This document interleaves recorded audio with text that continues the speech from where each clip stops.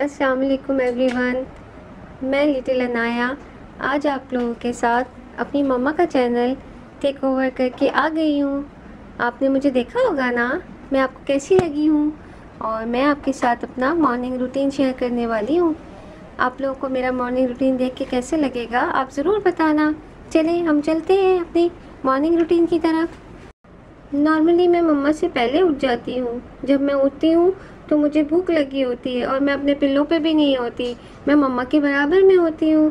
फिर मम्मा मुझे मिल्क देती हैं, मगर मैं उससे पहले अपनी बॉडी को स्ट्रेच करती हूँ। मुझे स्ट्रेचिंग करना बहुत अच्छी लगती है। आप भी किया करो। फिर मम्मा मुझे मिल्क दे के फिर मुझे वापस से इस पर लिटा देती हैं। मैं थोड़ी देर खेली करती हूँ। जब मैं खेल लेती हूँ तो मैं थक जाती हूँ। फिर मम्मा आती हैं और मेरा अच्छे से मसाज करती हैं और वो भी जॉनसस ऑयल के साथ करती हैं। वो मुझे बहुत अच्छा लगता है, उसकी स्मेल भी मुझे अच्छी लगती है और जब बहुत रिलैक्स फील करती हूँ, मसाज कर देती हैं मम्मा, फिर मैं थोड़ी देर दोबारा से सो जाती हूँ। छोटी सी नींद लेके उठती हूँ तो मेरा फ्रेशअप होने का टाइम हो जाता है। फिर मम्मा मुझे बात के लिए लेके जाती हैं। आप लोग यहीं ठहरो, मैं बात लेके आती हूँ।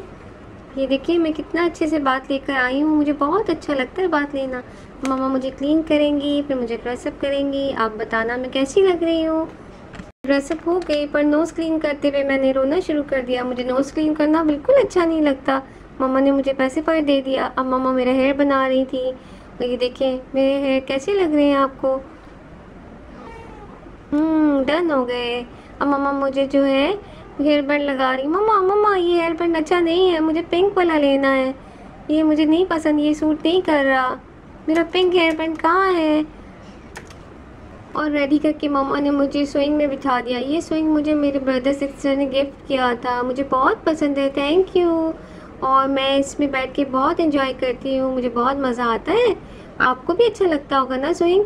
अब मैं आज पता है थोड़ी सी नर्वस हूँ। मुझे डॉक्टर के पास जाना है। डॉक्टर के पास जाना किसी को भी अच्छा नहीं लगता। आपको क्या डॉक्टर के पास जाना अच्छा लगता है? मुझे बहुत डर लग रहा है, पर मेरी फैमिली मेरे साथ है। हॉस्पिटल जाने के लिए मुझे कार सीट में बैठना पड़ा वो मुझे बिल्कुल अच्छा नहीं लगता। फिर मम्मा ने मुझे जब देखा कि मैं रो रही हूँ, उन्होंने मुझे उठा लिया। पर मैं सो गई मम्मा की गोद में। मम्मा ने फिर मुझे उसमें लिटा दिया। और हम हॉस्पिटल आ चुके थे और मम्मा अपनी डॉक्टर के पास गई हुई थी। और मुझे हिकअप शुरू हो गई। फिर मेरे ब्रदर सिस्टर मेरे पास थे। अब मेरी बारी थी। अब मुझे अपने डॉक्टर के पास जाना था। मुझे बहुत डर लग रहा था। फिर मम्मा ने मुझे गोद में रखा हुआ था। मैं अपने डॉक्टर के पास गई। उसके पास जाने से पहले मुझे कुछ चेकअप करवाना था और उसने मेरा वेट लिया साइज़ लिया, उसके बाद कुछ और चेक किया और मैं बहुत नर्वस थी। अब हम डॉक्टर के पास से आ गए और घर के लिए आने लगे।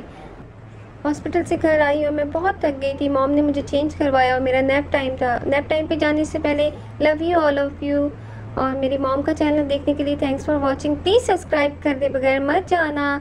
मैं वेट करूँगी आपके अच्छे अच्छे मैसेज का। अल्लाह हाफिज़। Take care bye